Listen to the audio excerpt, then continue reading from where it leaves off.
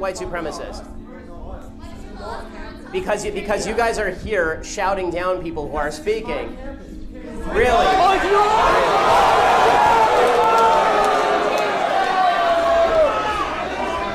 Okay, last time. La- how what starts? How what starts? What, what are you talking about? What is it? And why, if you have a question, why don't you just ask it? I'm happy to talk with you, but this is nonsensical. This doesn't help. What was that? Well, then tell your people to sit down. We're having a question answer period. Well, then who are they? If you want to have a conversation, have a conversation. This is not productive. This is this is this is whiny this is whiny nonsense.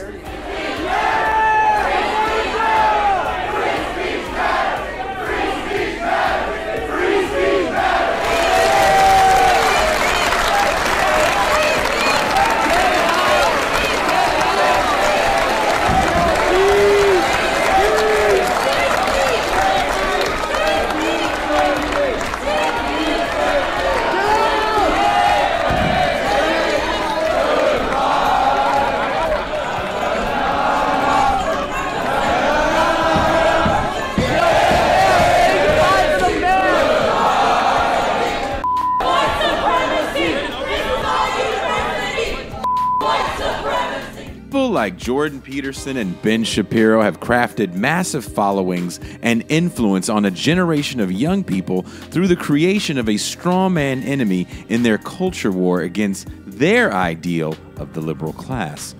Is there value for those of us on the left to challenge these arguments and debunk their talking points? What is the benefit of engaging in such debate? How do we keep the discourse purposeful and not have it be nothing more than simple spectacle and brand building? We'll ask these questions and more. This is Revolution.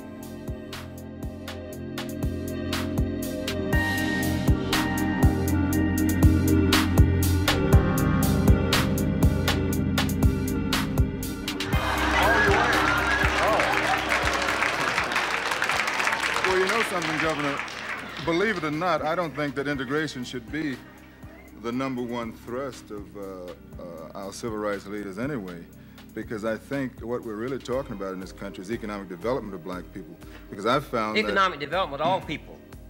well, we're talking about Well, how come underprivileged just people. black people? How We're come you just talking- wanna do it for well, black I'll- people? How come you don't I'll wanna do it for white people? I'll tell you why. Huh? I'll tell you why. How come you why. want to do it for everybody? How come Can you I- always can I black get- people? can Why I don't you get- talk about all people? Can I give you an answer? I think Can we get- understand Please. the question. Yeah. Can I give you an answer? Do you mind? Oh, go ahead. If you're ready, I'll give you time. Okay, Governor.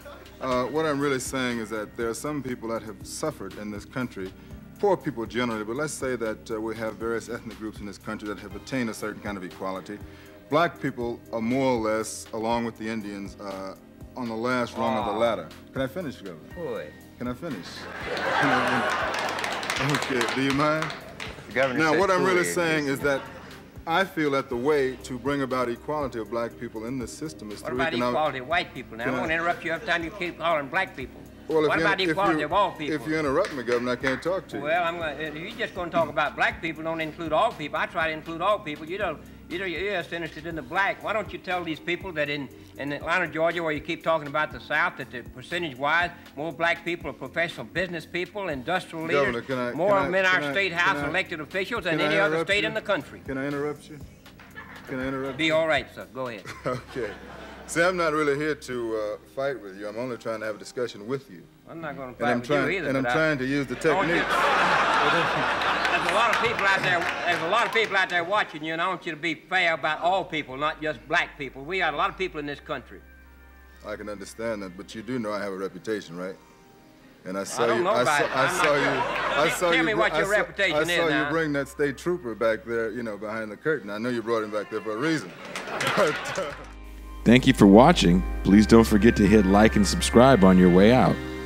You can catch the live stream of This is Revolution every Tuesday through Thursday at 6 p.m. Pacific Time and Saturday, 9 a.m. Pacific Time. This is Revolution.